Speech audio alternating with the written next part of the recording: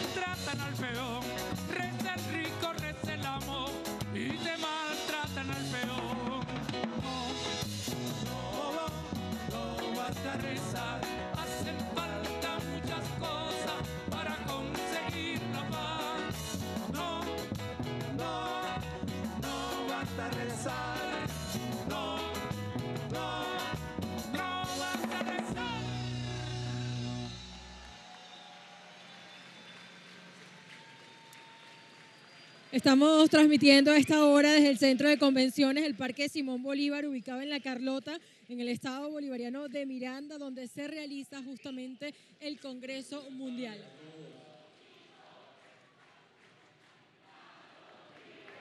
Queridos hermanos, queridas hermanas,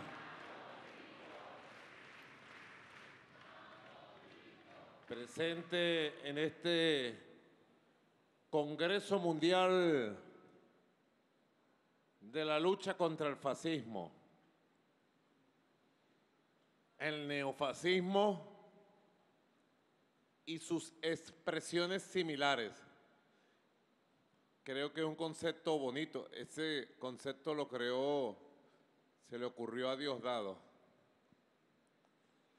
Fascismo, neofascismo y sus expresiones similares.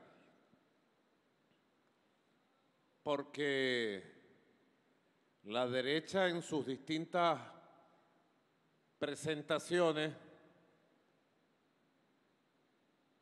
en tantos años y con tanta tecnología, ahora con el Big Data,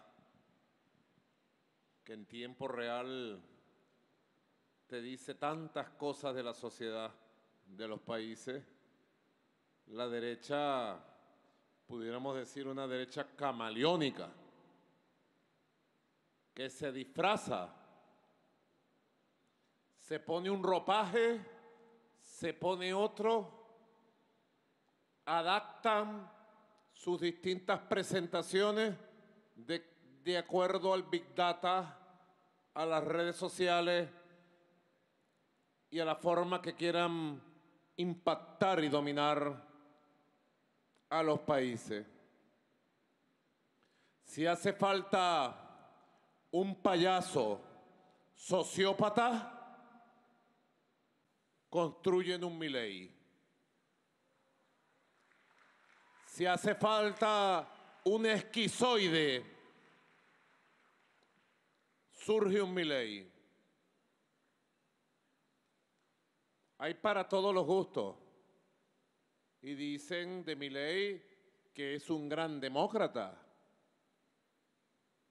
lo que es un gran fascista. Y así por el estilo. Si hace falta un empresario tecnócrata que parezca con una franela blanca, una persona sencilla, humilde, que tiene mucho dinero y no, y no le hace falta robar, y que es un técnico, un profesional, no un político, y que asuma la antipolítica, construyen un Novoa en Ecuador. Hay para todos los gustos. El fascismo, neofascismo y expresiones similares. Están traduciendo, ¿verdad? Levanten la mano los que tengan traducción simultánea. Mira, no la levanta nadie. Así. Entonces hay que hablar poco a poco, lentamente. Leggermente, dirían los italianos. Leggermente. Bueno, mi saludo. He estado con mucho trabajo todos estos días, pero he disfrutado la transmisión que ha hecho Telesur, Venezolana de Televisión y otras redes sociales y medios de las ponencias, de los debates y de las propuestas que van surgiendo en esta Caracas bolivariana entre 10 y 11 de septiembre en este Congreso Mundial de Lucha contra el Fascismo. Extraordinario, verdaderamente. Y no había otro lugar, creo, en este momento de la historia mejor para que se debatieran las ideas en el siglo XXI de la lucha contra el fascismo, el neoliberalismo, el capitalismo salvaje y todas sus expresiones similares. Y ese lugar tenía que ser en Caracas, Venezuela, epicentro de la lucha contra el fascismo, contra el imperialismo, contra el colonialismo y todas sus expresiones similares.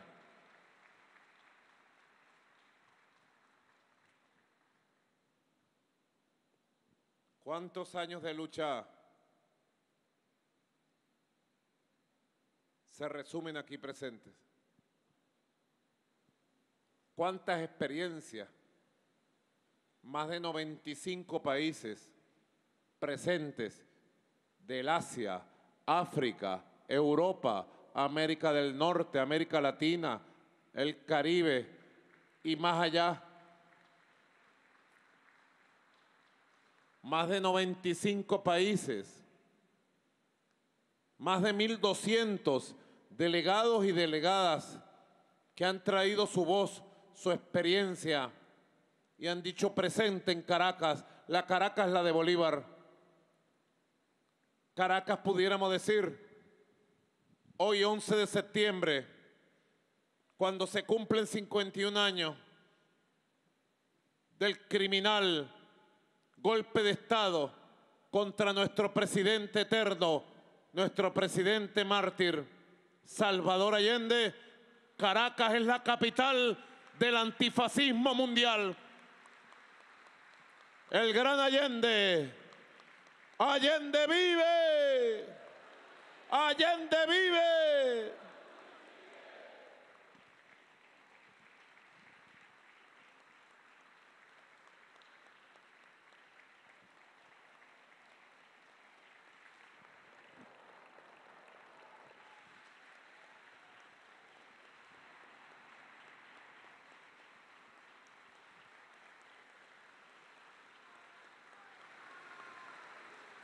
¿Cuántas faltas un Salvador Allende?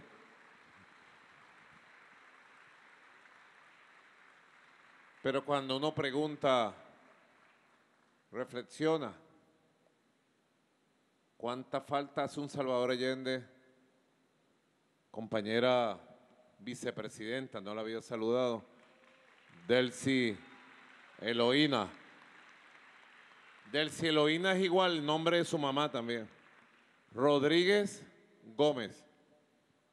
Su mamá se llama Delcieloína Gómez. Y también nuestro canciller, compañero, camarada Iván Gil. Quiero agradecer al compañero Rander por la extraordinaria organización de este evento. A Rander, a todo su equipo de trabajo. ¿Está tu equipo aquí? El equipo de Rander, párense pues. De pie, vamos a darle un aplauso a estos muchachos, a estas muchachas, a todo este equipo maravilloso de gente nueva, gente joven. Muchas gracias. Porque este Congreso, como ustedes saben, lo convocamos al calor de la batalla que estamos dando. Es un Congreso convocado con la premura del tiempo histórico, porque las cosas se hacen a tiempo o mejor no se hacen. Y creo que haber reunido a más de 1.200 delegados de 95 países es un buen punto de partida. Muy buen punto de partida para desde este momento en adelante avanzar en lo que debe ser una gran internacional contra el fascismo, el colonialismo, el imperialismo, que articule las fuerzas para el mundo nuevo, por la democracia, por la paz, por la humanidad.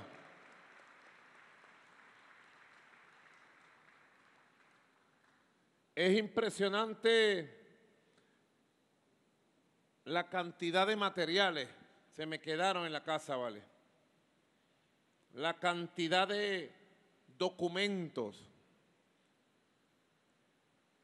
Tenemos un gran reto de traducir todos estos libros, todas estas investigaciones, todos estos documentos. Se me quedaron en la casa los libros todos, lo que estaba leyendo anoche en la madrugada. Estaban ahí donde yo me siento en el mueble, ahí quedaron. Pero también me entregaron un conjunto de libros que ya conozco. Aquí tengo un libro extraordinario que lo voy a publicar en mis redes sociales para que ustedes le den like y lo compartan también.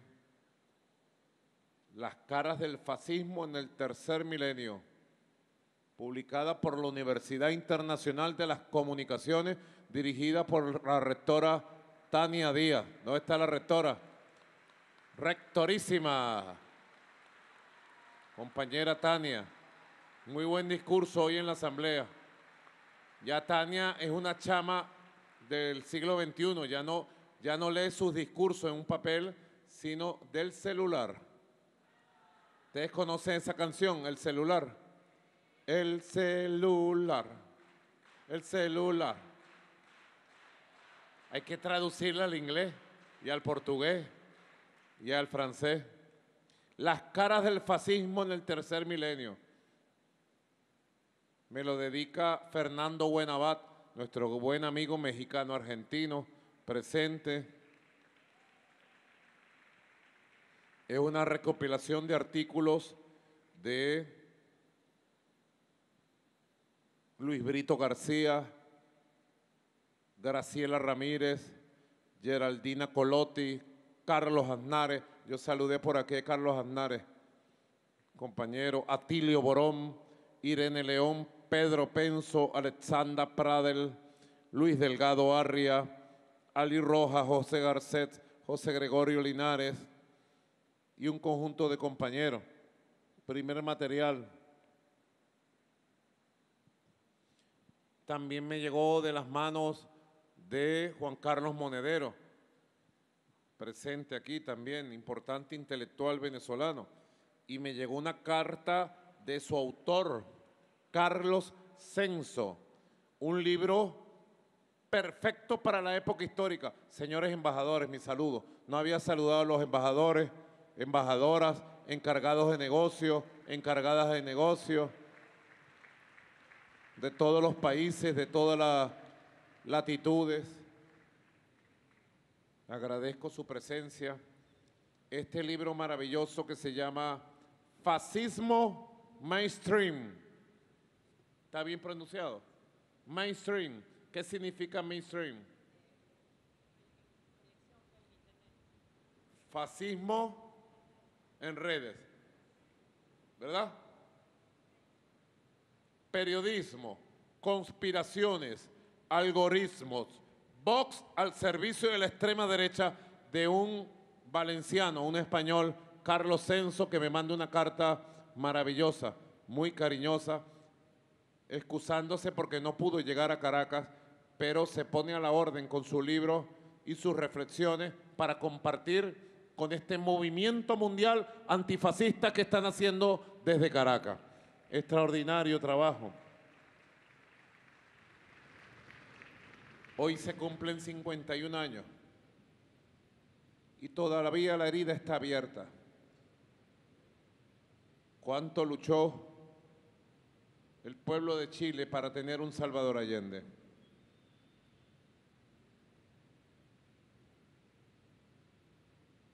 ¿Cuánta perseverancia? ¿Cuánta valentía? De un líder sin igual, de uno de los gigantes de la historia grande de América Latina y del Caribe. Salvador Allende creció como líder caminando las calles y los barrios de aquel Chile de los años 40, 50, 60.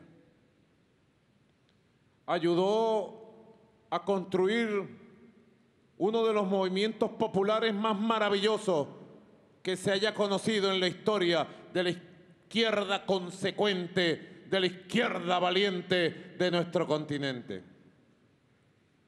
Un hombre sin tacha alguno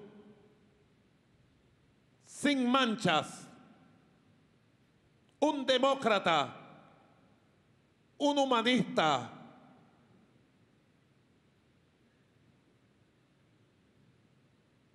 que jugó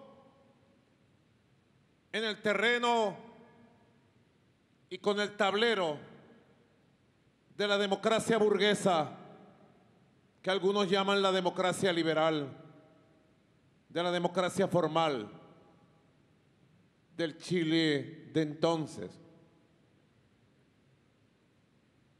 La única revolución triunfante en nuestro continente se había hecho con las armas. Antes de Allende, otros intentaron procesos de cambio, reformas, lo que hoy llaman algunos procesos progresistas, lo llaman así. Procesos de avanzada.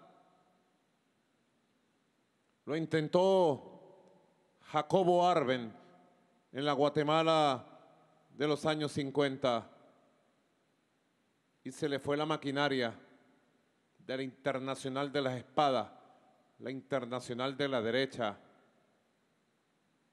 y no le permitieron que consolidara simplemente una reforma agraria para apuntalar a nuestra hermana Guatemala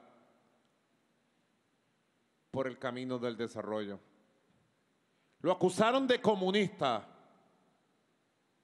que era la peor acusación que podía hacer en tiempos del de macartismo el imperio norteamericano y las derechas de entonces. Hoy la peor acusación que pueden hacer es acusarlo de chavista, bolivariano. Acuse usted a cualquiera en Madrid de bolivariano y le caerán las hordas fascistas y lo perseguirán.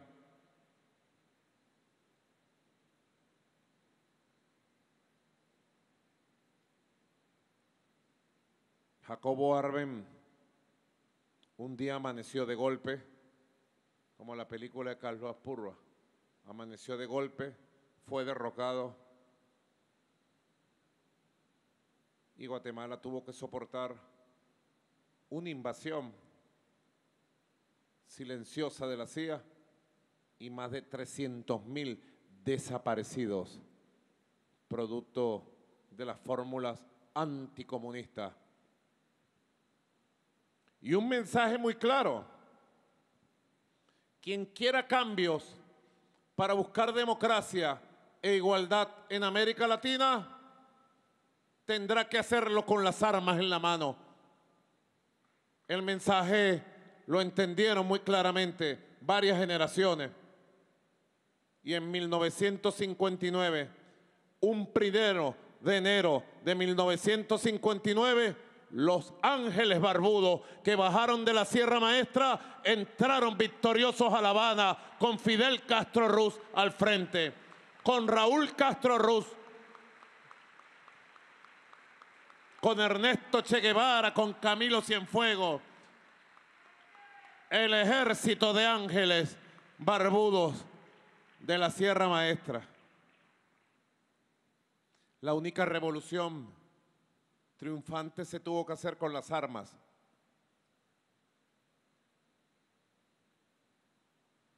No dejaron alternativa.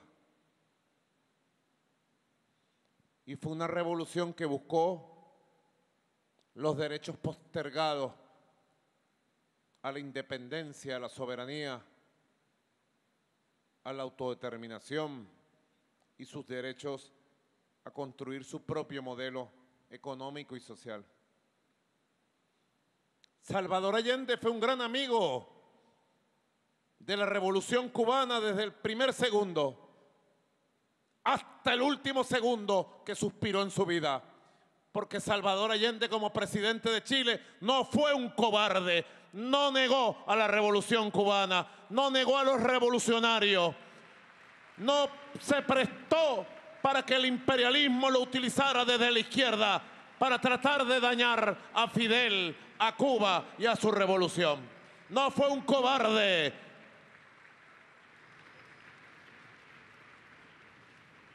Y en Venezuela tenemos una expresión que no sé si tiene traducción. Al que le cae, le chupa. No sé si tiene traducción. En México se dice así, al que le cae le chupa. En España, en Cuba, bueno, al que le cae le chupa, pues. Que en Santiago de Chile averigüen. Al que le cae le chupa. ¿Cómo hace falta un Salvador Allende con su valentía, con su honor, con su aplomo, con su liderazgo? Al frente de Chile. Algún día se abrirán las grandes alamedas y el pueblo de Chile tomará el poder verdaderamente en la moneda. y habrá un verdadero líder para el pueblo de Chile. Y no habrá más traiciones en Chile. Algún día lo verán, lo veremos. Vamos a poner un video en homenaje a Salvador Allende. Allende, adelante. Los que mueren por la vida no pueden llamarse muertos. Allende no murió. Allende vive en nosotros. Vive en el pueblo chileno. Vive en el pueblo venezolano. ¿Qué hizo Allende? Nacionalizó el cobre, nacionalizó la industria y contra él arremetieron entonces con furia todas las víboras. Desestabilizaron Chile, le hicieron guerra económica, guerra social, generaron violencia, le inyectaron odio a la gente y bueno, fue lo que pasó el 11 de septiembre. Tanto daño y tanta agresión y sin embargo no pudieron apagar al pueblo de nuestra América. Aquí estamos hoy más vivos que nunca. ¡Viva Allende! 11 de septiembre, golpe de Estado contra el pueblo de Chile, contra el presidente Salvador Allende. Se impuso la traición, el fascismo, la regresión, el crimen, uno de los golpes de Estado más violentos, casi que transmitido en vivo y directo. Quedaron las imágenes del bombardeo al Palacio de la Moneda. Allende tenía conciencia de lo que estaba sucediendo y había tomado la decisión de morir por su pueblo antes que traicionarlo, antes que arriar las banderas. Trató de hacer la primera revolución socialista, democrática, electoral, pacífica de nuestra América y no lo dejaron. 17 años tuvo que soportar el pueblo chileno para sacarse la dictadura oprobiosa de Augusto Pinochet. Se impusieron por la fuerza, a sangre y fuego, pero fue el pueblo chileno quien resucitó y resucita todos los días con Allende. Gloria a Salvador Allende por siempre.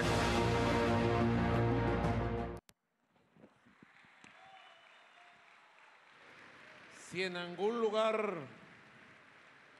de nuestra América hay un proceso revolucionario ejemplar que encarna los sueños de Salvador Allende, ese lugar es la República Bolivariana de Venezuela. Es la revolución bolivariana y socialista del siglo XXI.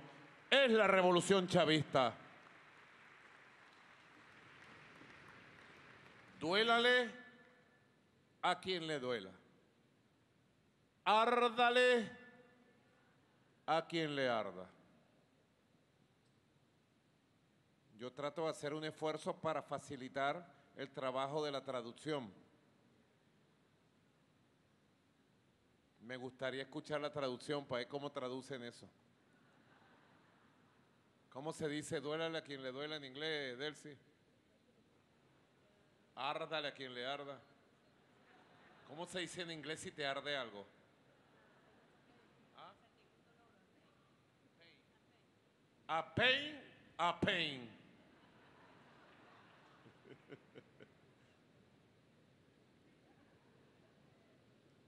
Nosotros estamos,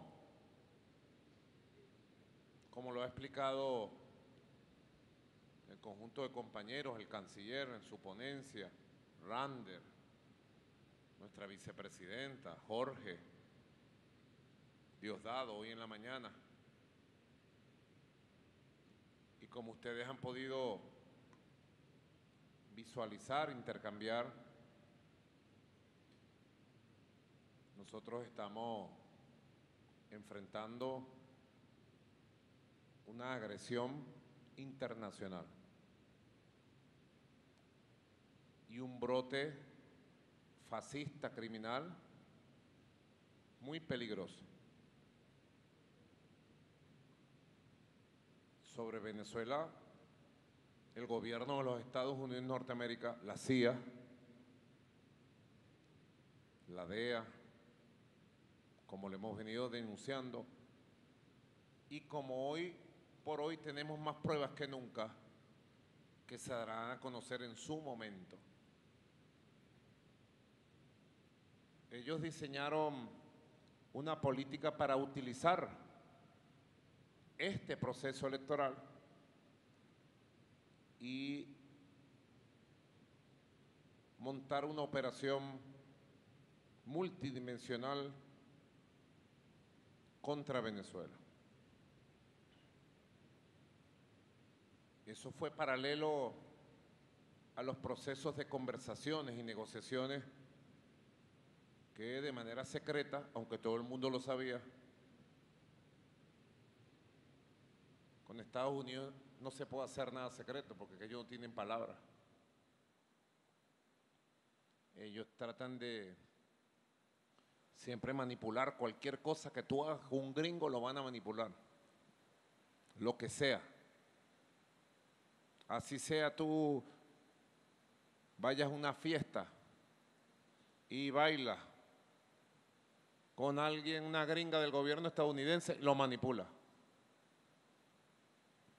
Nosotros entramos en un proceso de conversaciones con una oferta de llegar a un acuerdo que permitiera una relación de respeto, una regularización de las relaciones históricas entre los Estados Unidos de Norteamérica y el poder imperial que ellos representan y la República Bolivariana de Venezuela y la Revolución Bolivariana.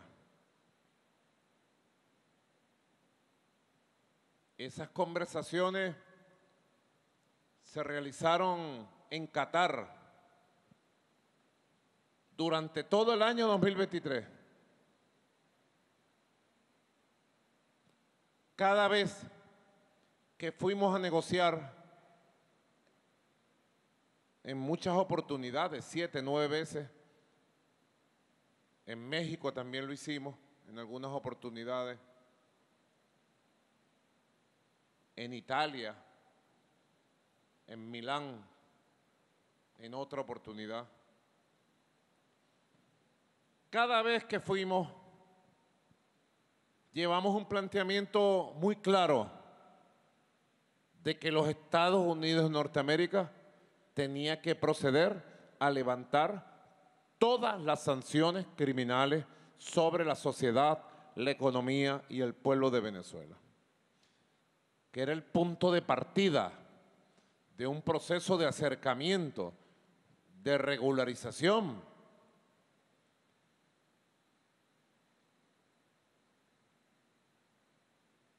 En todas las rondas intensas de conversaciones, siempre ellos jugaron al engaño, haciendo ofertas, como le gusta decir a la vicepresidenta, ofertas falsarias, tratando de crear falsas ilusiones con cosas que nosotros siempre supimos que jamás iban a cumplir. Siempre en cada una de las rondas terminábamos con documentos sobre la mesa enfrentados. Era un mecanismo.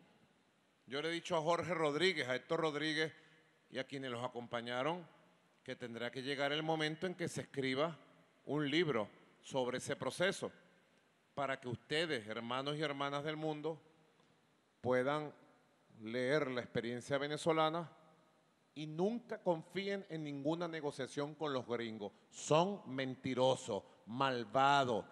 Como decía Ernesto Che Guevara, no se puede creer ni tantico así en una palabra del imperio norteamericano. Eso lo sabíamos. Pero una cosa es saberlo y otra cosa es constatarlo todas las veces que terminó una ronda de negociación, todas las veces, ellos se hacían como que los bravos que pateaban la mesa. Y yo le decía a Jorge Rodríguez, cuando regreses vas a comprender qué está pasando, porque siempre apostaron a negociar afuera y a, y a golpearnos adentro. En el 2023 las cin- en cinco oportuni- oportunidades que se dieron esos procesos de detención, en las cinco oportunidades descubrimos planes para asesinarme y planes violentos para atacar unidades militares y centros de poder político del país. Todos los detenidos, autores materiales y algunos de los autores intelectuales están convictos y confesos. En su oportunidad en el 2023, estos casos se denunciaron públicamente uno a uno. Y ellos se encargaron con su maquinaria de poder en redes sociales, en medios de comunicación, se encargaron de invisibilizar, de ocultar las pruebas, las verdades. En octubre 2023 se firmó un acuerdo por Venezuela, como ustedes ya conocen, porque el acuerdo es público, por Venezuela firmó el compañero diputado Jorge Rodríguez, presidente de la Asamblea Nacional. Y por el gobierno de los Estados Unidos firmó un personaje muy corrupto, muy nefasto, llamado Brian Nichols. Allí se estableció un acuerdo. Nosotros que somos gente de palabra y de honor, cumplimos ampliamente todos los pasos del acuerdo firmado.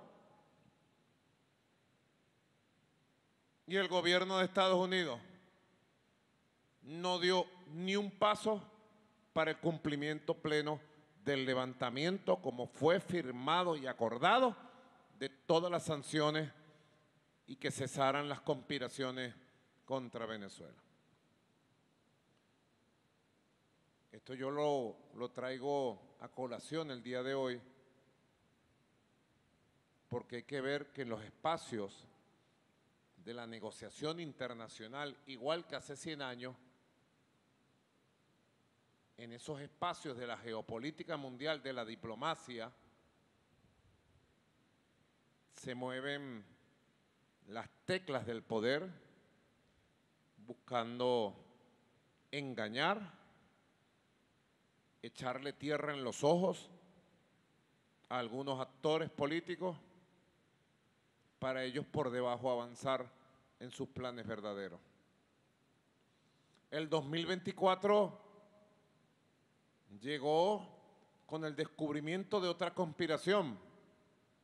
El primero de enero del 2024 se pretendía un asalto con grupos mercenarios de un conjunto de unidades militares en el estado Táchira, en Barinas y en Portuguesa, en el occidente del país.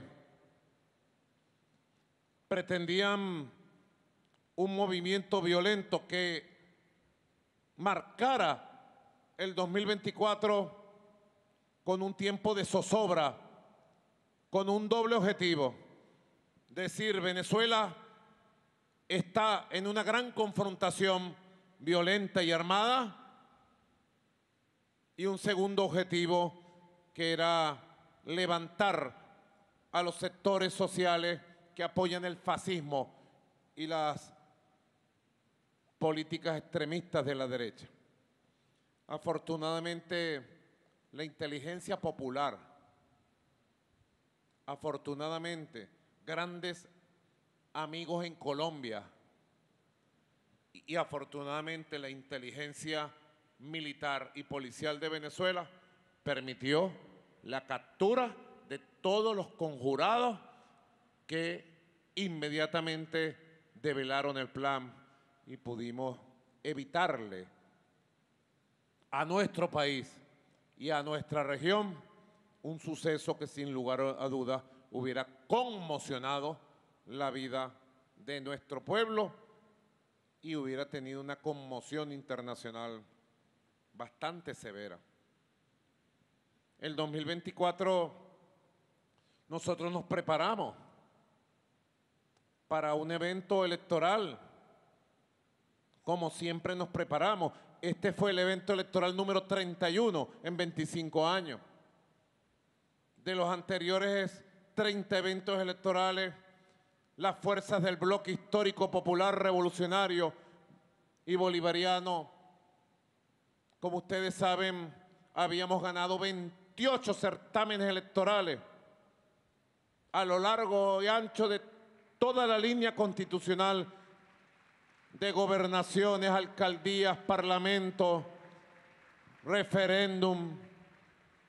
Yo creo que Venezuela tiene el récord mundial de referéndum consultivo, siete referéndum consultivos en menos de dos décadas. Todas las elecciones en Venezuela se han hecho de manera impecable, como manda el cronograma constitucional. Un país asediado, asediado, perseguido, bloqueado, sancionado desde el punto de vista financiero, comercial, económico, tecnológico. Un país sometido a una guerra económica por la potencia más poderosa del planeta, a pesar de su declinación histórica. Ustedes vieron el debate ayer de Harry Truns. Yo lo vi completo. Yo pensaba ir al debate, pero tenía la invitación. Filadelfia es una ciudad bellísima. Aquí hay delegación de Estados Unidos, ¿verdad? Filadelfia es una ciudad hermosa. En todo ese lugar noreste de los Estados Unidos nació la independencia de Estados Unidos, las 13 colonias. Nueva York, Baltimore, Filadelfia, Boston, Washington. El debate volvió a demostrar en qué estado político, psicológico y moral está la élite de los Estados Unidos. Están en un estado de decadencia integral y yo diría que acelerada. Quien pueda analizar los temas que allí se trataron, las cosas que se dijeron y pueda analizar la calidad de lo que representan esas candidaturas, se podrá dar cuenta que no tiene nada que ver con el siglo XXI que aspiran los pueblos del mundo e inclusive con las aspiraciones que tiene el pueblo de los Estados Unidos de Norteamérica de un país próspero, pero un país que respete al resto del mundo. El año 2024 nosotros nos preparamos para la elección número 31.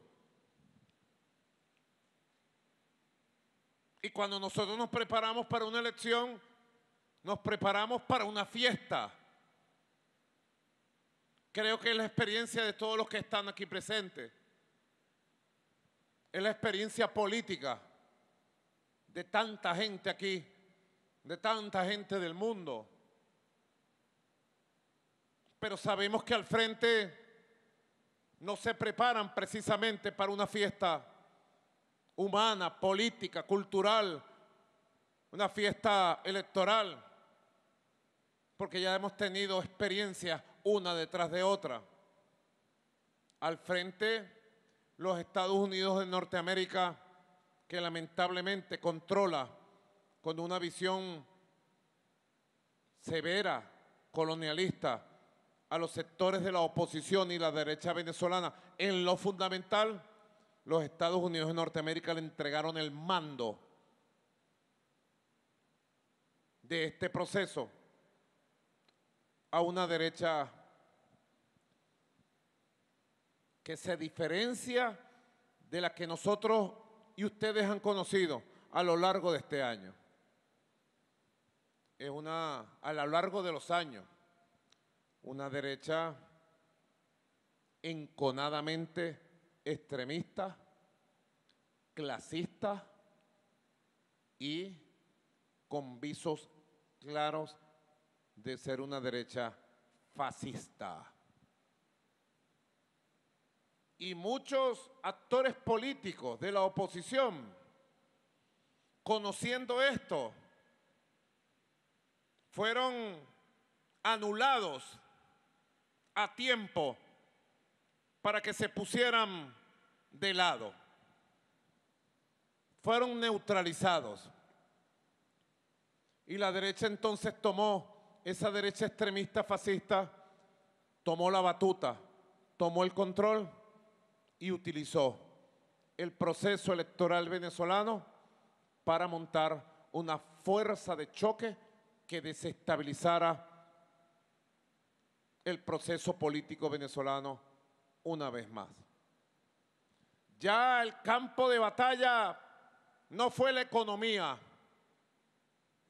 como sí lo fue muchos años en el pasado, inclusive en la época de nuestro comandante Hugo Chávez, cuando manipulaban escondiendo los productos de primera necesidad, cuando disparaban los precios de los primeros, de los, de los productos fundamentales de la dieta del venezolano, cuando hacían mil maniobras contra el sistema cambiario que tuvimos durante décadas.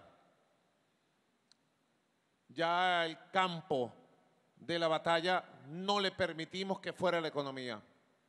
Hoy el campo de batalla fue el campo de las mentes, de la comunicación, donde las redes sociales en Venezuela, en esta oportunidad, jugaron y están jugando el papel decisivo, determinante para infectar a importantes sectores de la población de odio, intolerancia, violencia y los antivalores del fascismo. Por eso cuando conocí este libro, El fascismo mainstream, y toda la investigación que hace Carles Censo, en un libro escrito en el año 2020, en medio de la pandemia, me sentí plenamente identificado de la experiencia que hemos vivido nosotros en el transcurso de este año 2024, parafraseando la película aquella de los años 80, 2024, el año que hemos vivido en peligro, el año de la derrota del fascismo en territorio venezolano.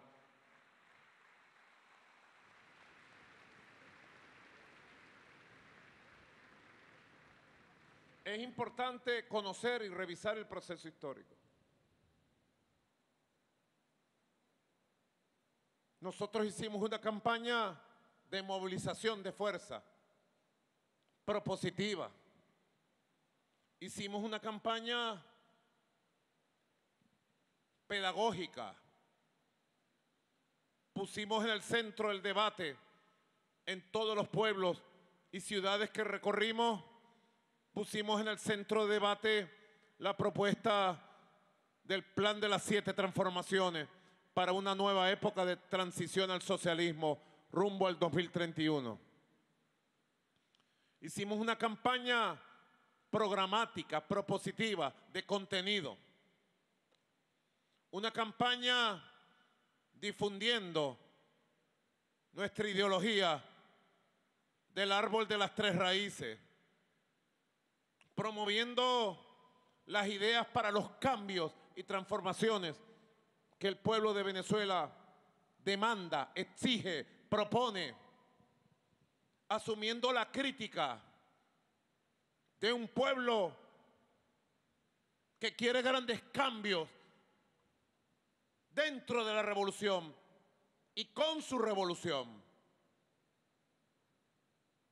Siempre le doy la bienvenida a la crítica certera, a la autocrítica, más si viene del pueblo humilde, de la gente de a pie, de la gente que ha sufrido, de la gente que ha luchado, del pueblo heroico y estoico, que no se ha rendido, que no se rendirá jamás bienvenida la interpelación del pueblo para la búsqueda de caminos que nos lleven a superarnos que lleven a superar las heridas económicas, sociales, políticas, psicológicas de la agresión imperial de tantos años.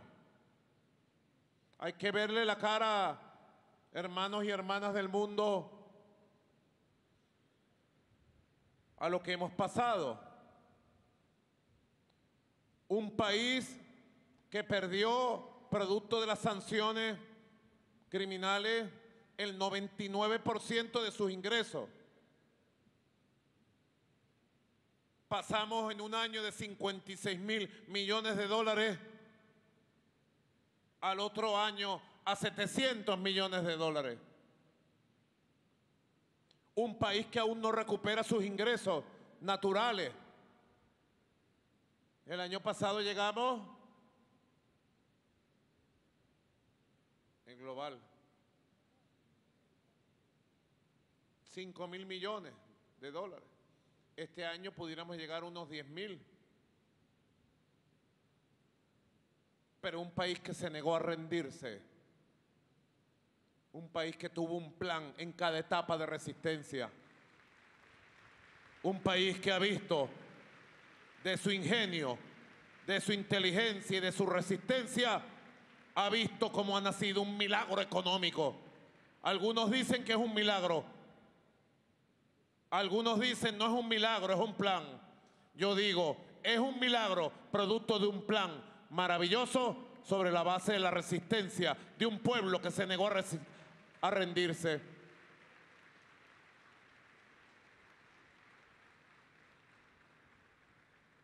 Un país que vio el 80% del desabastecimiento en sus calles. Ustedes recuerdan cómo en los noticieros de sus países aparecían colas de miles de venezolanos haciendo para tratar de conseguir lo que pudiera conseguir. Nuestro pueblo llegó a resistir comiendo sardinas.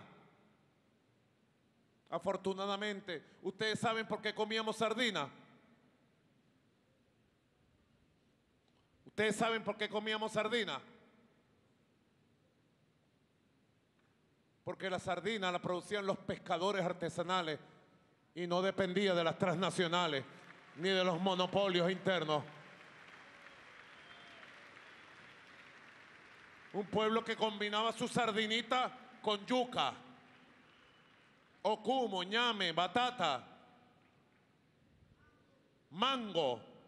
Afortunadamente aquí se un mango buenísimo. Ahora el mango está listo para exportarlo a China, a Turquía. ¿Ah? Hace un año, embajador, estábamos en, en Shanghái, un día como hoy. Lo recuerdo, porque eso fue una gira bellísima. Hace un año estábamos en Shanghái. Estaba yo en las calles de Shanghái caminando con Silita. Un pueblo que supo rehacerse, reinventarse.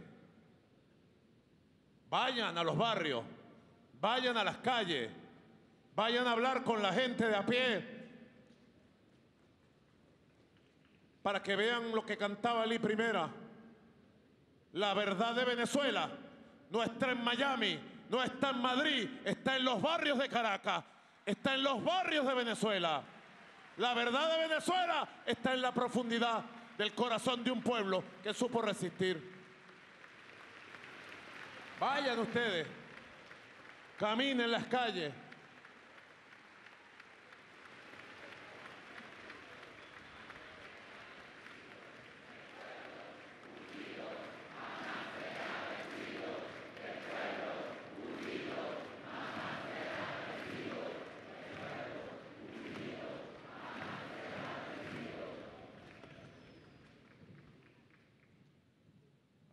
Ahí la pueden cantar.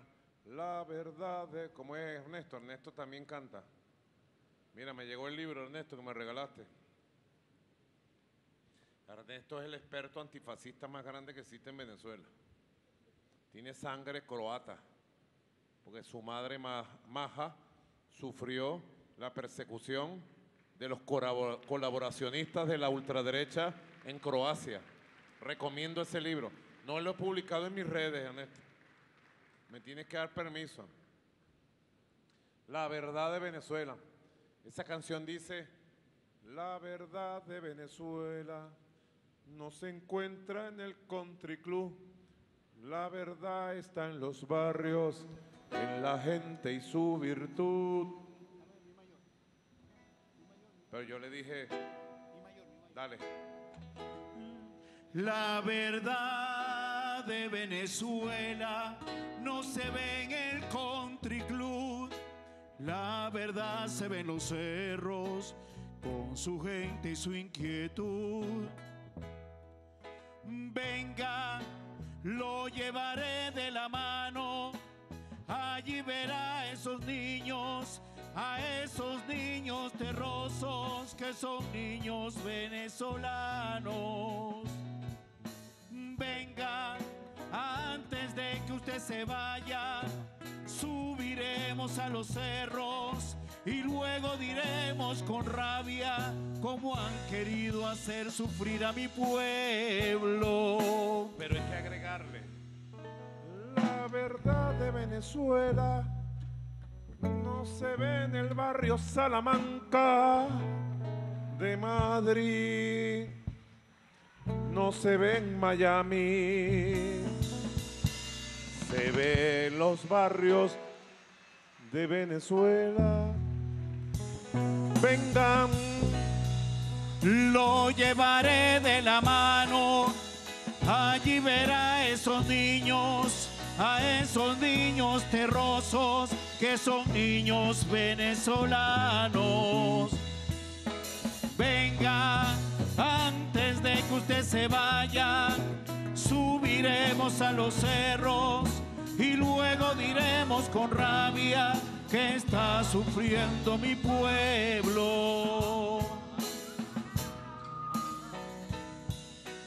Un aplauso, vale. ¿Ah? Están lo que se llama es mosca.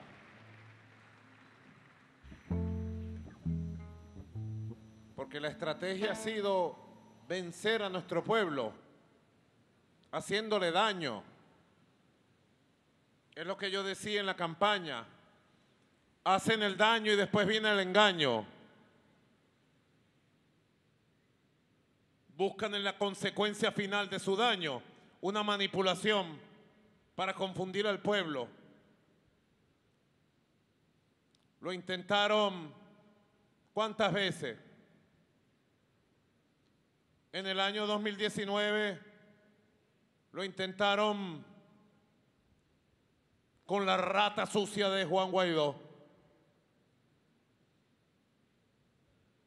con el perdón de las ratas, que son unos animalitos muy nobles. Son unos animalitos inocentes, no tienen la culpa. Ustedes saben cuánto fue la inflación en el año 2019. Anualizada, pues. 344 mil por ciento.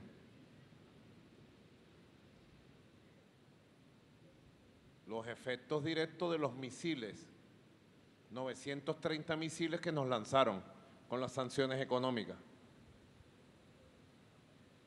El único que nos va a ganar en el futuro va a ser mi ley, que seguramente llevará la inflación más alta, producto de su concepción del capitalismo salvaje. Y ese mismo año fue el año que los gringos decidieron venir con todo, lo que llamaban máxima presión. Y nosotros los contuvimos. Aquí en el mundo los contuvimos.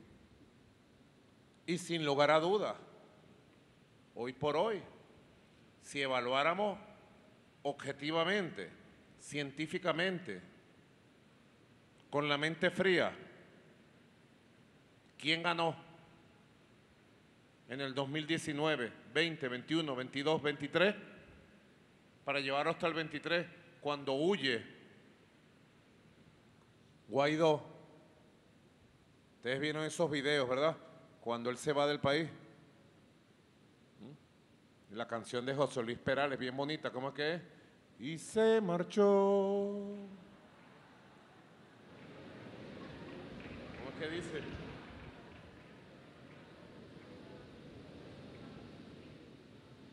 Y se marchó y a su barco los llamaba libertad y se marchó. Esa canción sirve para distintos momentos históricos. El pueblo se la cantó al traidor de Guaidó cuando se fue huyendo. Pero si hiciéramos una evaluación ahorita objetiva, con la mente fría, y nos preguntáramos, ¿quién ganó del 2019 al 23? ¿El poder paralelo? ¿La imposición de un presidente falso? ¿La guerra económica? ¿El imperialismo norteamericano? ¿El Grupo de Lima? ¿La Unión Europea? ¿Quién ganó? ¿O el pueblo valeroso y heroico de Venezuela. ¿Quién triunfó en ese pulso histórico del golpismo?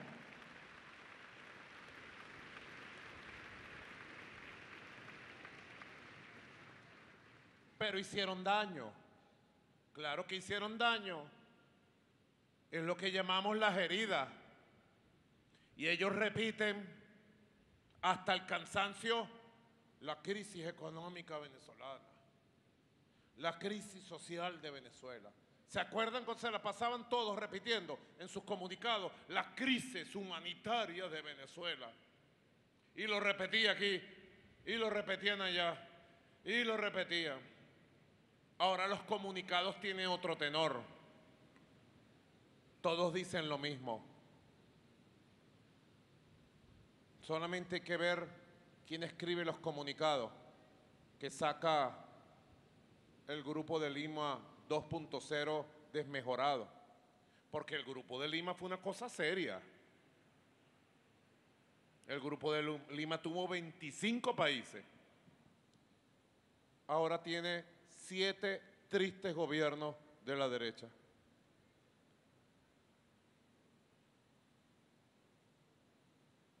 Dejaron heridas que estamos sanando que vamos a sanar plenamente.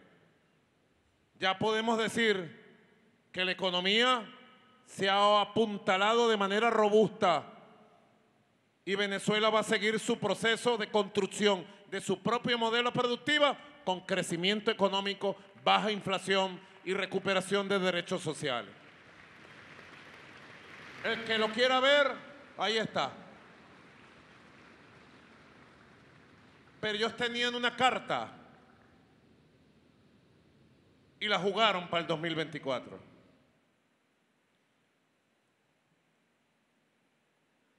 Y tuvieron como instrumento principal las redes sociales. Por eso hay que estudiar muy, muy al detalle la batalla que hay que dar en el marco de lo comunicacional, de lo simbólico, de lo cultural, nosotros fuimos a una campaña electoral ejemplar.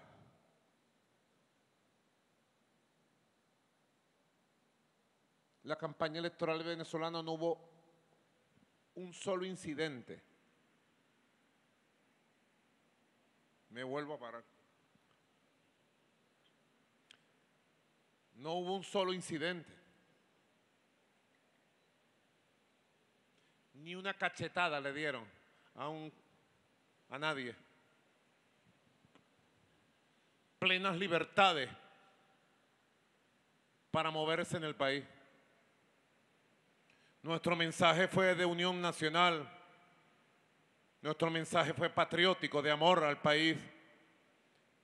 Nuestro mensaje fue con propuestas de avance, de transformaciones, de cambio y la oposición se dividió en lo que en su momento, otrora, llamamos nueve patarucos.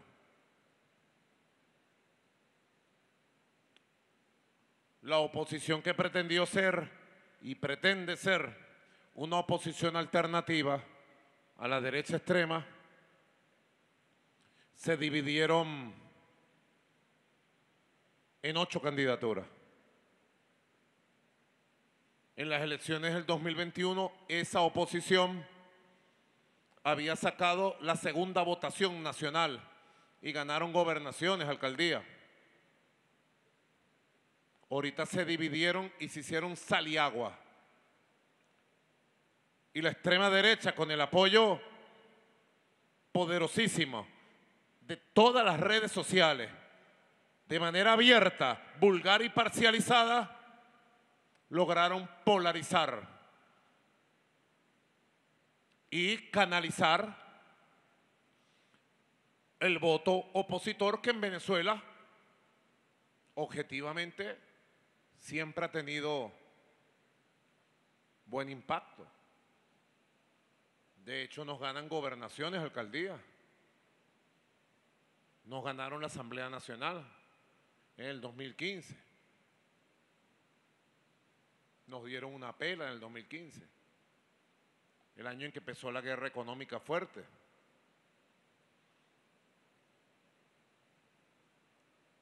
Nos ganaron la reforma en el 2007, teniendo a Chávez aquí. Porque alguien pudiera decir, ah, ganaron el 2015 porque estaba el bobo de Maduro. No, nos ganaron. En el 2007 nos ganaron por un pelito. Pelito, pues. Pero ganaron.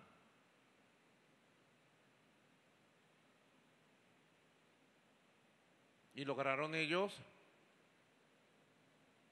combinar una campaña con un planteamiento extremista encabezado por María Sayona Machado, quien se encargaba del mensaje de venganza y con la consigna hasta el final, muy parecido, como dijo Delcy, de la consigna de Hitler de la solución final, final, final, la solución final de Hitler, ¿de qué se trataba? De acabar con todos aquellos que no fueran raza aria y de acabar con los judíos, como hoy pretende el imperio norteamericano y Netanyahu acabar con nuestros hermanos árabes, palestinos, con nuestros hermanos musulmanes. Honor y gloria al pueblo palestino. Palestina resiste y Palestina vencerá.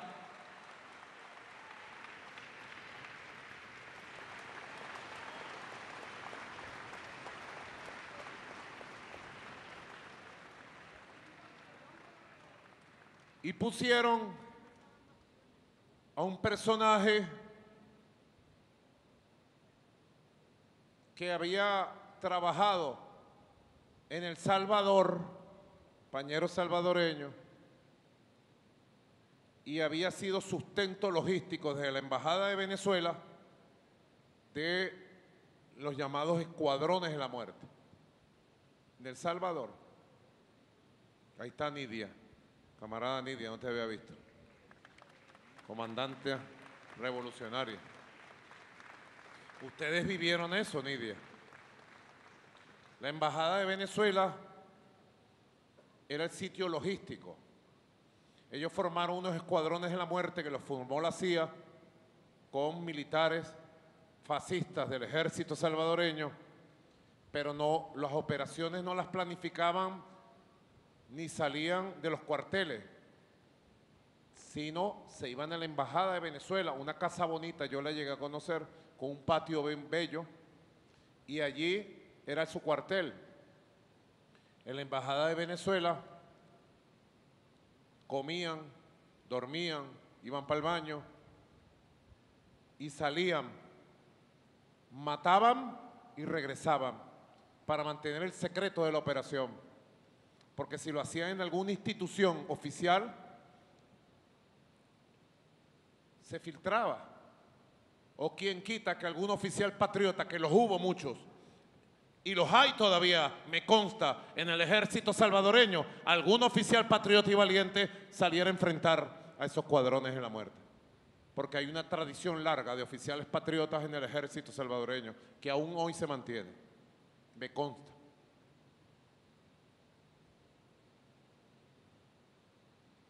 Y este señor era el segundo mando de la embajada. El embajador encargado de esas matanzas de los jesuitas, de las monjas y de muchos salvadoreños inocentes era al que en Venezuela llaman el Matacura, un agente de la CIA de toda la vida, Leopoldo Castillo, hoy periodista en Miami, uno de los fascistas más inconados que hay. Huyó de Venezuela también, prófugo de la justicia venezolana. Tiene orden de captura por Interpol. Y los dos constan los documentos de Wikileaks. Pueden buscar en Wikileaks, si no es que los han borrado. En los documentos de Wikileaks aparece toda la historia completa. Al señor le dieron la tarea con bastante vitata de dirigir su mensaje al opositor medio que no comulga con la revolución, que estaba desilusionado y que quería un cambio. Es muy natural que en una elección presidencial o de cualquier tipo, a la gente le guste la idea de un cambio. Y captaron dos tipos de electores, por lo menos dos. Un tipo de elector que aspiran de mucho tiempo, que se arrase con el chavismo, que se barra con el chavismo, que se desaparezca el chavismo. Y sembraron esa campaña con mucha fuerza. Y un tipo de elector que sencillamente quería apostar, seguramente producto de las vivencias y sufrimientos que ha pasado, y seguramente porque lo convencieron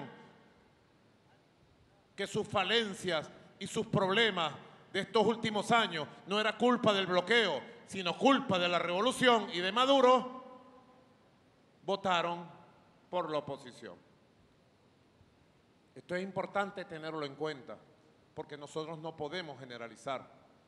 No lo hemos hecho, pero sería un error generalizar y decir que los votantes que votaron por la oposición son unos fascistas. No es así.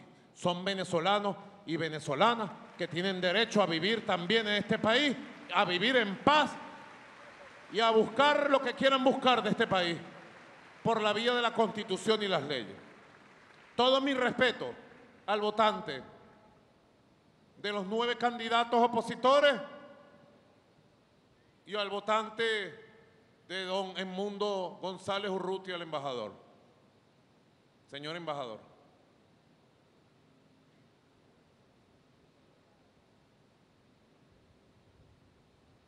Pero por debajo iba el proceso. Yo cuento esto porque ustedes conocen, muchos de ustedes han estudiado más el fenómeno del chavismo que yo mismo, que nosotros mismos. Nosotros ya conocemos el fenómeno del, chavismo, del, del, fascismo porque hemos sido víctimas durante casi 22 años de brotes y expresiones neofascistas, de intolerancia, de odio, de persecución. Tenemos varios posgrados en la lucha contra el fascismo. Ellos utilizaron el proceso electoral, las libertades públicas de Venezuela, las garantías electorales que se les dieron para por debajo, con una campaña brutal de odio y de venganza, montar una maquinaria de fuerzas de choque con criminales y delincuentes que tuvieron su máxima expresión inmediatamente el lunes 29 de julio, 30 de julio y 31 de julio. Venezuela le vio la cara horrorosa al demonio, al demonio del fascismo. Le vimos la cara. Y Venezuela también demostró, nuestro pueblo demostró en perfecta unión cívico-militar policial que estaba preparada para esa prueba, para esa sorpresa, para ese ataque criminal, porque en 48 horas se restableció la paz, la armonía, la estabilidad y la tranquilidad de todo el país.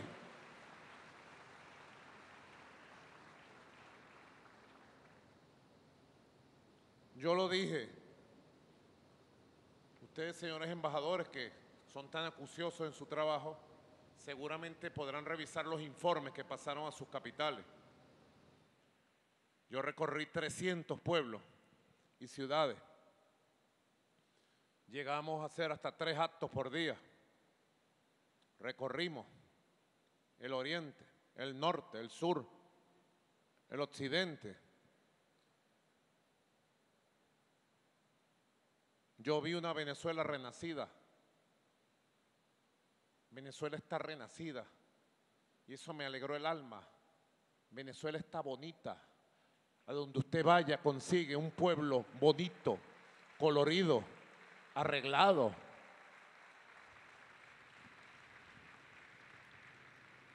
Es lo primero que vi. Hace seis años cuando me tocó ser candidato también porque ellos me obligaron. Yo soy candidato porque ellos me obligan. La primera vez porque Chávez me dijo, pero ya estoy aquí obligado.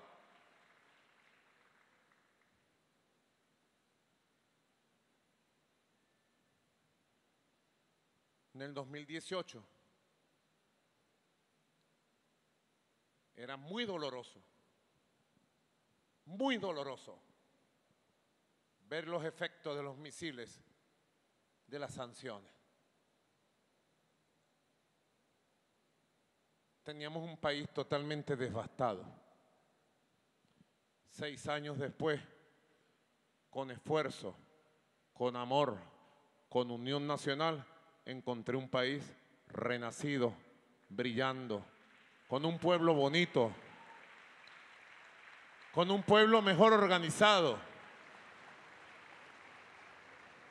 Yo dije, y lo dije mil veces porque tenía las informaciones, afortunadamente tenemos buenas fuentes de inteligencia. También afortunadamente tenemos buenos amigos en el mundo. En el mundo. Muy buenos amigos y amigas. ¿Verdad, Elsie? Pero bastante.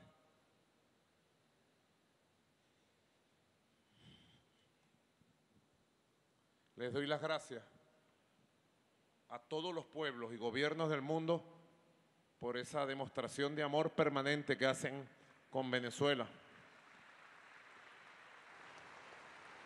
porque tenemos miles de oídos y de gente que nos quiere. Hablando de eso, mira, ahí está Diego Armando Maradona, presente Maradona. Miren lo que tengo aquí. Me lo puse hoy porque me da suerte.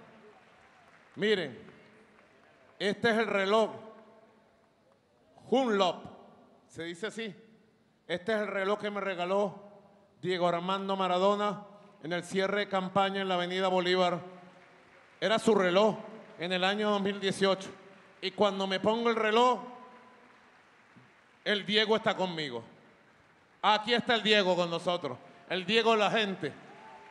¿Cómo hace falta Diego para que le diga sus cuatro verdades a mi ley?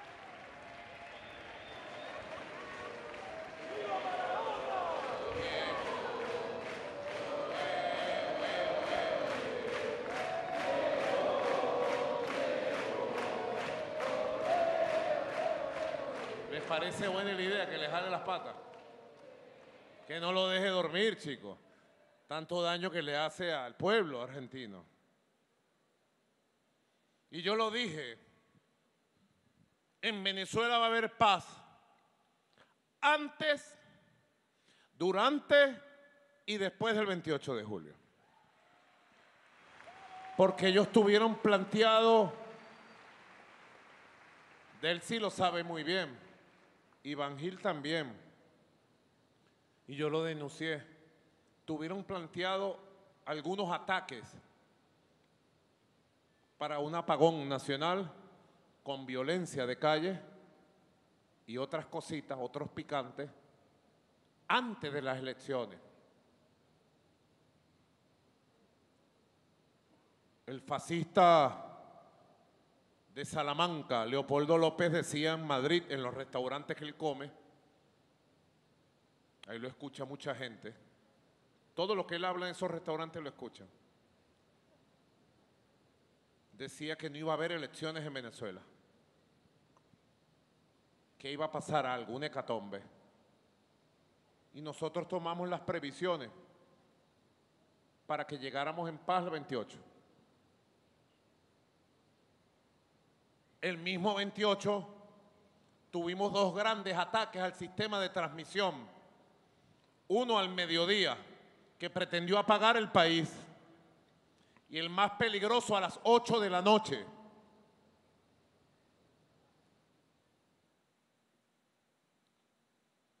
En el mismo momento que ya se estaba produciendo un ataque cibernético contra los nodos y sistemas de transmisión del Consejo Nacional Electoral.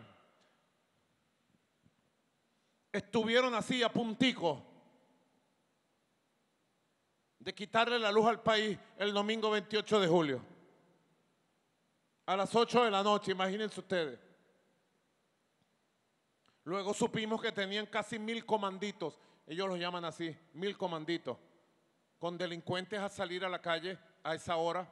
Y la mayoría de los criminales y delincuentes violentos que están presos, todos están convictos y confesos, han confesado que el domingo los mantuvieron a todos acuartelados para una acción.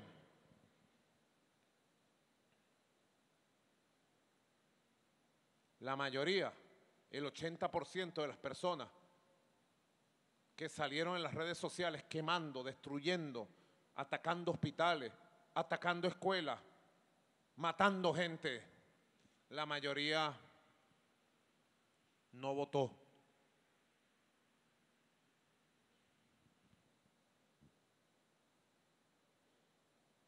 Afortunadamente en Venezuela hay ingenieros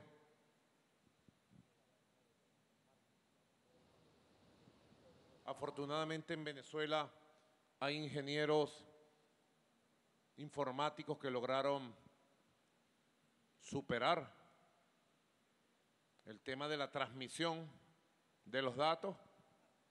Y el CNE pudo casi a las 12 de la noche, recuerden ustedes, hora de Venezuela,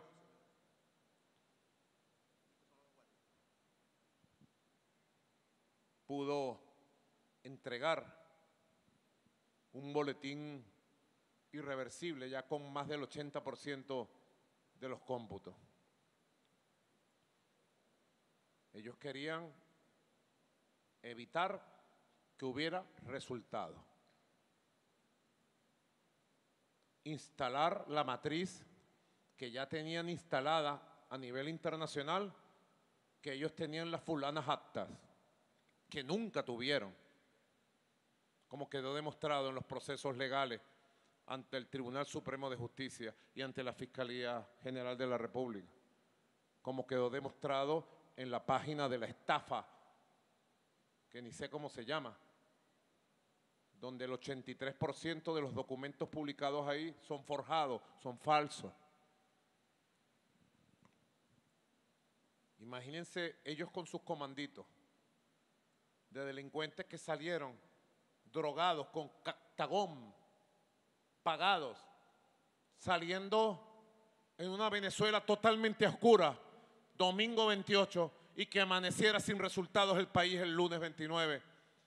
Que hubieran escuchado ustedes en los noticieros, arranca guerra civil en Venezuela.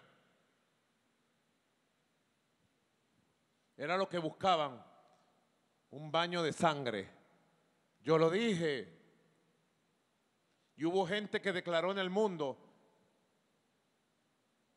que le parecía una expresión mala de Maduro y que estaban muy nerviosos por mi expresión, que estaban asustados por lo que yo había dicho, porque manipulan. Y entonces le llega la manipulación a gente que le gusta declarar sobre Venezuela. Nosotros no declaramos sobre ningún país, no practicamos la política de micrófonos, como llaman, el intervencionismo neocolonial de la política de micrófonos, no lo practicamos.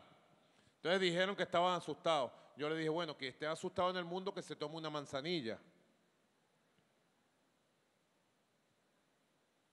Pero yo estaba diciendo la verdad porque la sabía. Lo que no sabía era la modalidad que ellos iban a buscar, aunque denuncié algunas cosas. Estaban buscando un baño de sangre, anular los resultados electorales, que no hubiera resultado, que iniciara un proceso de escalada de violencia para después gritar lo que gritaron el miércoles 31 de julio, cumpliendo el cronograma que había establecido desde el norte la derecha extremista de la fascista María Machado, comenzó a pedir una intervención militar gringa sobre Venezuela. Otra vez comenzaron a pedir una intervención militar sobre Venezuela. Las expresiones de fascismo que vivimos nuestro pueblo las conoce. A través de las redes sociales se transmitió en vivo y directo por TikTok, TikTok, TikTok, por Instagram. Se transmitió las escenas de acoso, asedio, violencia. Pretendieron el lunes asaltar el Palacio Presidencial de Miraflores lo volvieron a intentar por otra vía que aún no se conoce, pero explicaremos en su momento el martes 30 de julio. Asesinaron estos grupos violentos criminales, asesinaron a 27 hombres y mujeres de bien, inocentes.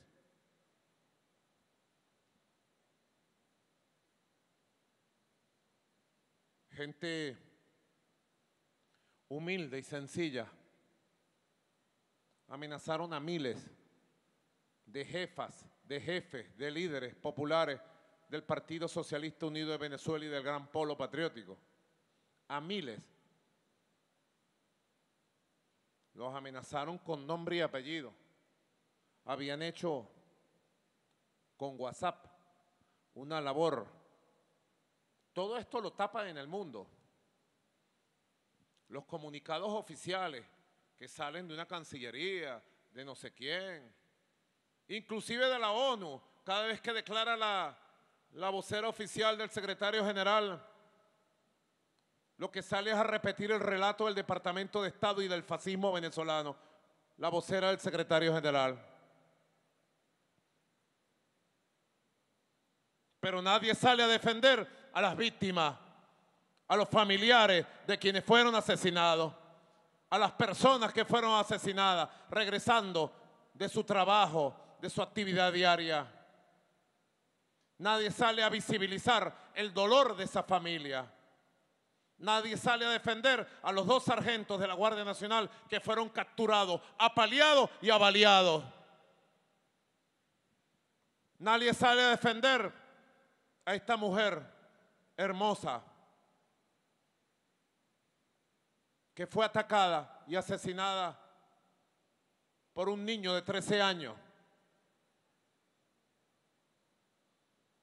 Por razones de la ley protección no podemos presentar la confesión de ese niño en donde él declara que la mató porque era chavista. Que estaban diciendo en TikTok que había que salir a matar a los chavistas. Y él sabía que la señora que llevaba el clap en el barrio que llevaba todo el liderazgo social en el barrio y que era la gran líder del barrio, jefa del Partido Socialista Unido de Venezuela en ese barrio, era Cirila Isabel Gil, mártir de la revolución. Aquí está su esposo, de Cirila. Mi saludo a su esposo, Rómulo Velázquez. Allá en el Callao. Rómulo, mi saludo. Honor y gloria a Cirila. Matrimonio humilde. Pero la vocera del secretario general de la ONU no defiende a Cirila. Defiende a quien mató a Cirila. Porque dice que hay que soltar en libertad a los que mataron, a los que quemaron. ¿Hasta dónde llega la hipocresía y la complicidad con el fascismo en Venezuela? Lo mismo hicieron con Hitler y la Sociedad de Naciones desapareció. Porque la Sociedad de Naciones fue cómplice con Mussolini, con Hitler, en la agresión que le hicieron a la República Española. La Sociedad de las Naciones apoyaba a los fascistas entonces y desapareció. Hoy los voceros del secretario general Guterres le clavan una puñalada a la ética, al honor y a la legalidad internacional que sustenta el sistema de Naciones Unidas. Honor y gloria, Cirila. Su único pecado, su único delito era ser la líder social allá en el Callao. Sería horrible contarle a ustedes cómo fue el crimen. Trece años.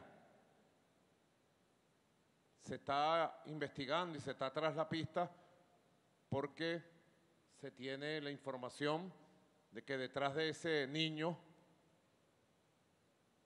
hay gente, hay cómplices de los comanditos en el Callao. De esto no se habla. Nosotros inclusive no hablamos de esto. Creo que fue Diosdado que la denunció aquí. Pero esa, esa herida la tenemos aquí, mira, supurante, dolorosa, abierta. La herida de las víctimas del fascismo, del ataque criminal del 29, 30 y 31 de julio. Ataque que fue reivindicado por la Machado. Y ellos salen a marchar. Libertad para los presos políticos. El niño que mató a Cirila era un político. Es un preso político. Lamentablemente fue manipulado en su edad. Y las leyes venezolanas se encargarán de abordarlo de acuerdo a su edad. Porque eso es en el Reino Unido, en Inglaterra, que capturaron niños de 13, 14 años ahora recientemente y los meten en cárceles de adultos. En Inglaterra. Y la vocera del secretario general no dice nada. Y el PP de España no dice nada. Y Vox de España no dice nada. Igualmente tuvimos otra mártir. Dios nos acompañó. Dios nos protegió. Ustedes saben que yo soy un hombre cristiano. De oración, reflexión y acción. Lo soy. Creo en Dios. Cada vez más.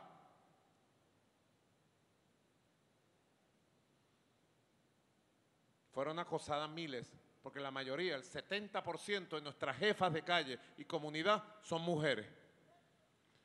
Fueron acosadas en sus casas. Una señora en un barrio en el oeste de Caracas, de 84 años, le llegaron los comanditos a las 2 de la mañana ya del martes 30 de julio. Porque ella es famosa en su barrio, porque tiene una carta que le mandó Chávez. Y ella, todo el que pasa por el barrio, le muestra la carta que la tiene en un marco de Chávez. Y la conocen como la abuela de la carta de Chávez. Le llegaron los comanditos en motorizados a amenazarla de muerte. Y ella salió y les dijo, vengan, pues aquí estoy aquí. Si tengo que rendir mi vida ante ustedes, estoy lista para morir, le dijo. Fascistas, criminales. Y detrás de todo esto, la Machado, la fascista mayor, la fascista mayor. También fue muy doloroso cuando nos informó, compañero Ricardo Molina me informó, Ricardo va a andar por ahí también. Ahí está Ricardo, el jefe político del estado de Aragua, cuando fue capturada, secuestrada, atacada y destrozado su cuerpo, la líder y jefa de la VC, asesinada a tiros, le destrozaron la cara a tiros, un grupo de comanditos, todos están capturados, todos están en juicio. Y estos son los que la vocera del secretario general de la ONU, Delcy, llama presos políticos. Preso político, el que secuestró a una dama, líder social, la sacó de su casa, le dispararon, le descargaron una pistola en la cara.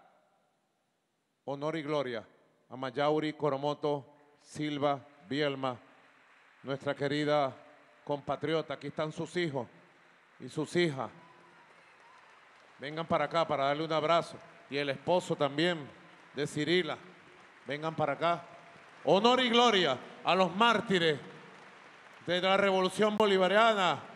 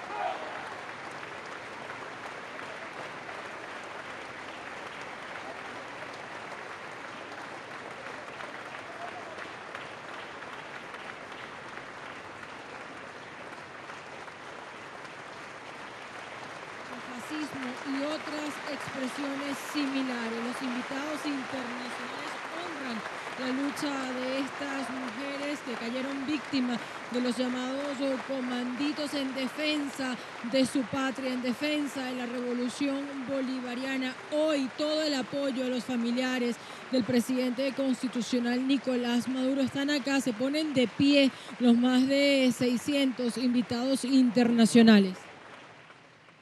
Los que mueren por la vida no pueden llamarse muertos. Y a partir de este momento,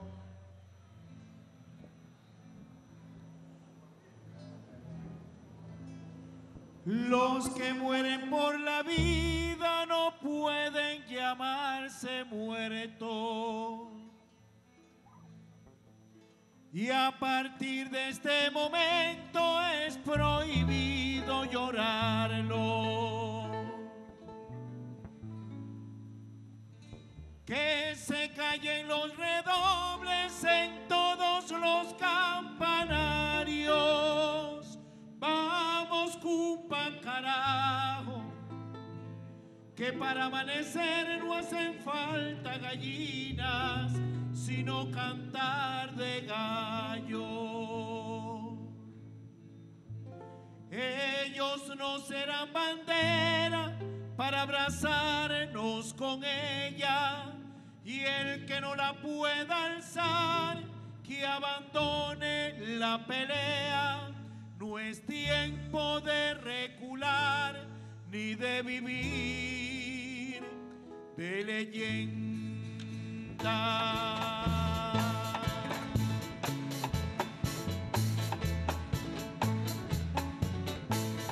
Canta, canta,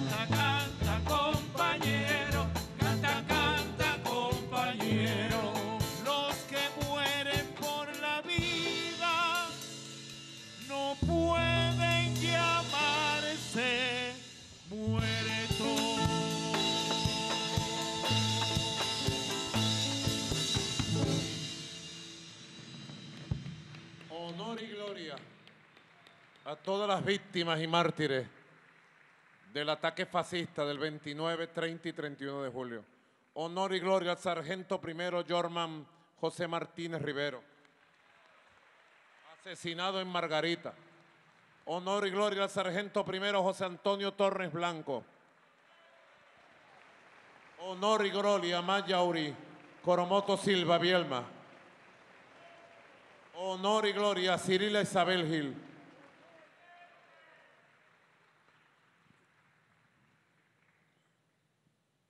Y a ellos, a su memoria, a su espíritu que llevamos en nuestro corazón y a ustedes familiares, yo les juro que el fascismo jamás en Venezuela llegará al poder político.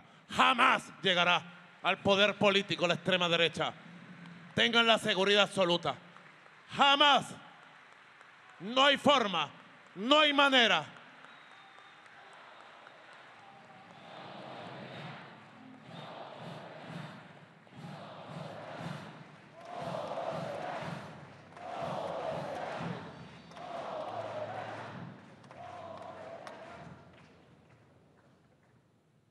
Así que en Venezuela es el epicentro de la agresión multiforme del imperio norteamericano más grande hoy por hoy en el planeta. Hay zonas de conflictos en el mundo, pero la agresión más preparada hoy por hoy para tratar de cambiar el proceso geopolítico de la región y tratar de influir en el proceso de surgimiento del nuevo mundo es Venezuela. El genocidio más grande desde la época de Hitler, Palestina, Gaza. El conflicto más peligroso desde el punto de vista militar por las implicaciones de la OTAN en la agresión contra Rusia es allá en Ucrania. Y hay otros conflictos en desarrollo. Pero Venezuela es la joya de la corona. El imperialismo busca, como Hitler, ocupar su espacio vital, expandirse hacia su espacio vital. Quien revise el libro, Dios me perdone nombrar ese libro, me voy a tener que echar agua bendita en la lengua. Un poquito de agua bendita, por favor. Quien revise el libro Mi lucha, que podría llamarse Mi crimen, puede encontrar los conceptos. Pérez Abad, compañero Oscar Laborde, compañeros, compañeras, puede encontrar los conceptos de la geopolítica fascista, fascista, nazi. Y él hablaba del espacio vital sobre el cual tenía que expandirse Alemania, lo que fue el Tercer Reich. Y una vez ocupado el espacio vital y sobre el enemigo principal, la Unión Soviética. Hoy Estados Unidos quiere asegurarse lo que ellos llaman su patio trasero, su espacio vital en la disputa geopolítica mundial del surgimiento de un mundo multipolar. Los BRICS es la gran expresión geopolítica del nuevo mundo. ¿Quién lo duda? ¿Quién duda de la potencia de China como gran potencia de este siglo? ¿Quién duda de la potencia de Rusia puesta a prueba? ¿Quién duda que la India está ocupando su espacio como potencia que tuvo en siglos pasados? ¿Quién duda de la inmensa alianza que se creó a partir de la cumbre de Sudáfrica? Si ante la disputa del poder que generó el terror de las clases dominantes y las monarquías y permitieron el surgimiento del fascismo era la gran Unión Soviética, la gran Unión Soviética, que remarcarlo, la gran Unión Soviética de entonces. Hoy es los BRICS y el mundo alternativo. Y el imperialismo en su decadencia quiere asegurarse al costo que sea su espacio vital. Por eso no les importa. Un Milei, lo aplauden, saben que es un nazi. No es que no les importa, les importa que surjan los Milei, que surjan los Novoa.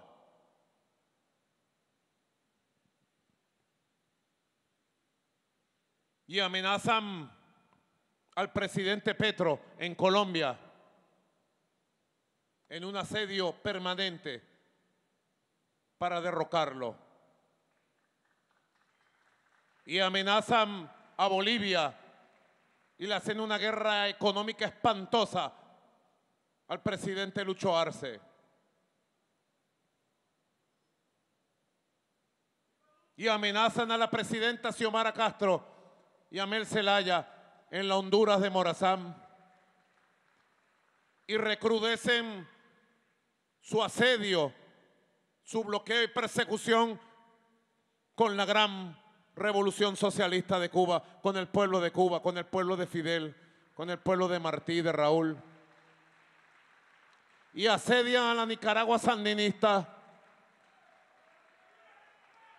Nicaragua bendita, cristiana y socialista. Y tratan de dividirnos. La izquierda mala, nosotros.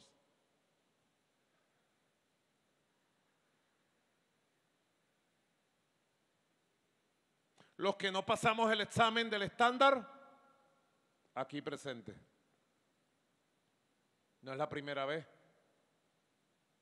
Vi mil veces a Chávez hablar de este tema en persona con muchos de los líderes de su momento, de la primavera bella que vivimos entre el 2004 y 2014, con Néstor, con Lula, con Tabaré, con el Pepe, con Cristina, con Rafael, el gran Rafael Correa, con Evo. Vi hablando, nos quieren dividir, le decía.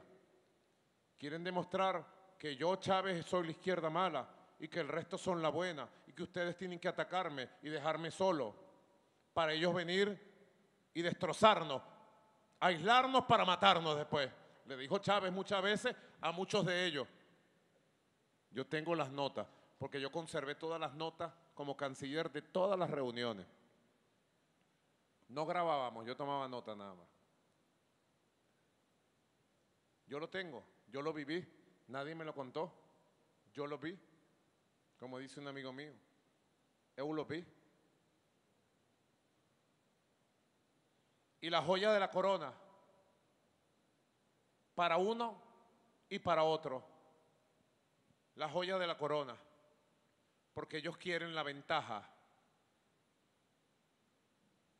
de haber destrozado la revolución bolivariana, descuartizar y separar a Venezuela en cuatro regiones, acabar de raíz con el ejemplo de Bolívar y de Chávez, y luego tomar el control de la mayor reserva petrolera del mundo y tener la ventaja de la mayor reserva petrolera del mundo, de la, mayor de la cuarta reserva gasífera del mundo, para presentarse al resto del mundo y poder manipular muchas cosas.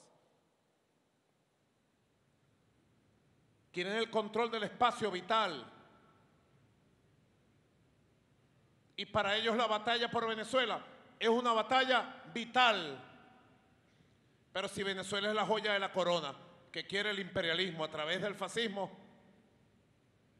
el pueblo de Venezuela está muy claro que Venezuela es la joya de la corona para seguir haciendo la revolución socialista del siglo XXI, la revolución de independencia, para seguir siendo soberana.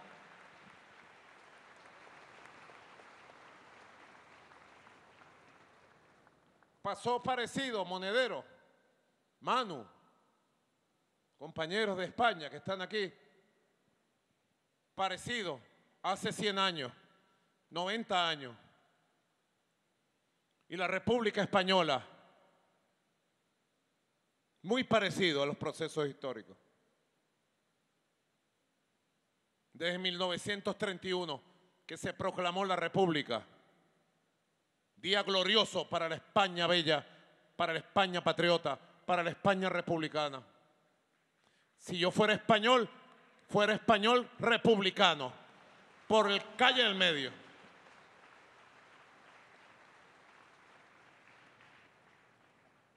Una hermosura, la experiencia. Pero empezó la conspiración desde el primer día para desgastarla hasta que la llevaron a la guerra, hasta que se ganaron una fracción fascista con el apoyo de Hitler, Mussolini. Y la batalla que se dio por España, muchas izquierdas de entonces no entendieron que era la batalla decisiva para su momento histórico. Si se hubiera ganado la batalla de la República y de la paz, otro gallo hubiera cantado en Europa y quizás se hubiera podido revertir la amenaza de Hitler y de Mussolini, porque no hubiera habido victoria de ellos. Pero la victoria de las fuerzas de Franco, del fascismo, de Hitler, que metió toda su fuerza aérea, que metió toda su capacidad militar, que metió todos sus recursos, de Mussolini, frente a la heroica República Española, significó la carta abierta para el avance de los Panzers y de las tropas de Hitler. Casi exacto, el día del triunfo de Franco sobre la República, avanzaron los tanques sobre Checoslovaquia, Polonia, París, y Hitler tomó sin resistencia. Los cobardes de entonces, de las izquierdas de entonces, al final fueron también víctimas de los nazis y de los fascistas y sucumbió la República. Yo he hecho esa comparación. Hoy en Venezuela se está dando una batalla definitiva. Y yo le pido a los movimientos sociales, políticos, a los movimientos intelectuales, de artistas, creadores del mundo, le pido al mundo entero entender las razones de nuestra lucha y pido el apoyo, el acompañamiento y la solidaridad de todos los movimientos antifascistas, anticolonialistas, antiimperialistas y democráticos del mundo para la batalla que está dando Venezuela por su derecho a la libertad, por su derecho al futuro.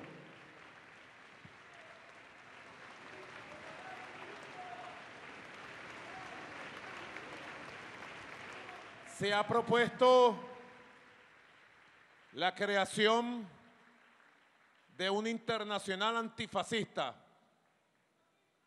anticolonialista, antiimperialista, que luche por un nuevo mundo. Aquellos delegados y delegadas de este Congreso Mundial Antifascista que estén de acuerdo con esa propuesta, a favor hacerlo con la señal de costumbre. Aprobada, se crea la Internacional Antifascista.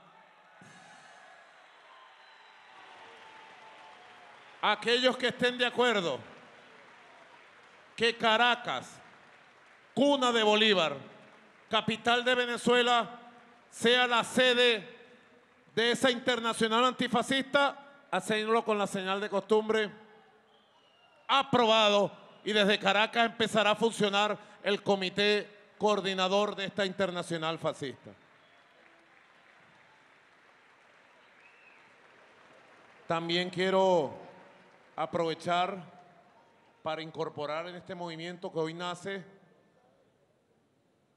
He recibido una propuesta del ministro Ernesto Villegas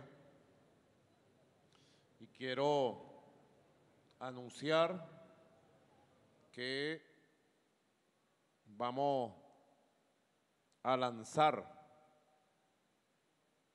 ¿Para qué mes, Ernesto? ¿Cuántos meses?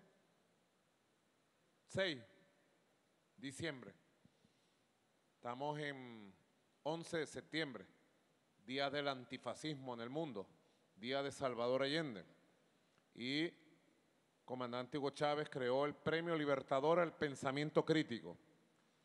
Y yo lanzo la edición número 13 del Premio Libertador al Pensamiento Crítico y convoco a todos los creadores, escritores, intelectuales del mundo a que presenten sus obras sobre el fenómeno del neofascismo, el fascismo y la batalla de las redes sociales de aquí al mes de diciembre.